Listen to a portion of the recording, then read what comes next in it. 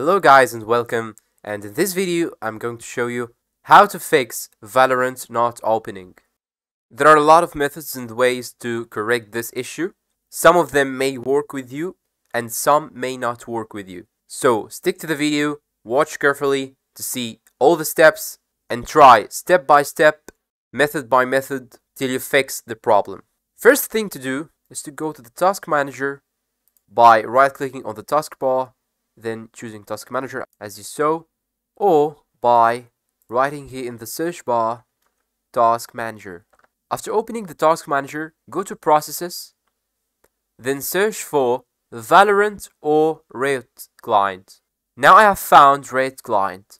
You can activate it then click on end task.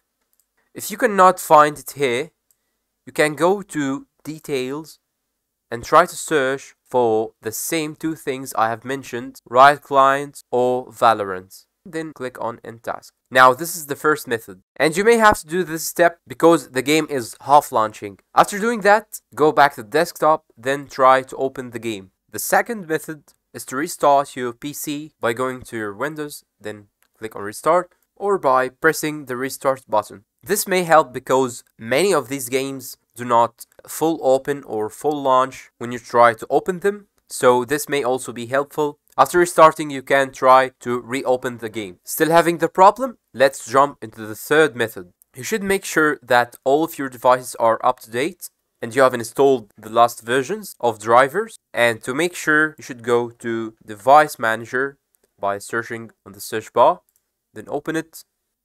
Then we'll go to Display Adapters and click on this arrow.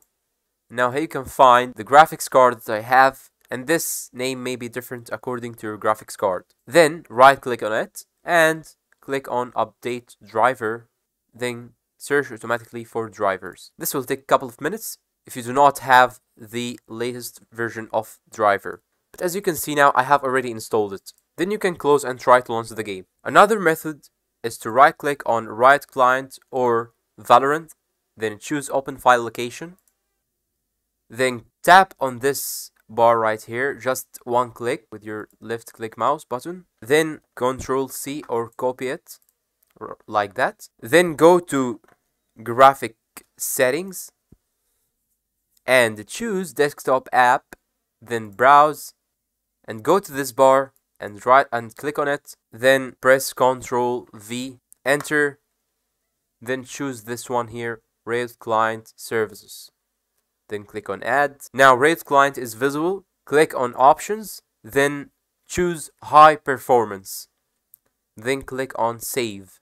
After trying all these methods and still the game is not working, last thing to do is to reinstall Valorant and Riot Client and you can do this by searching on Remove then choose this option then you can go down search for Riot Client click on it and press uninstall, uninstall Riot Client and uninstall Valorant, then reinstall them and try. And I hope one of these methods work with you. And if you find it helpful, make sure to hit the like button and subscribe and turn on the notifications. Thanks for watching and see you in another video.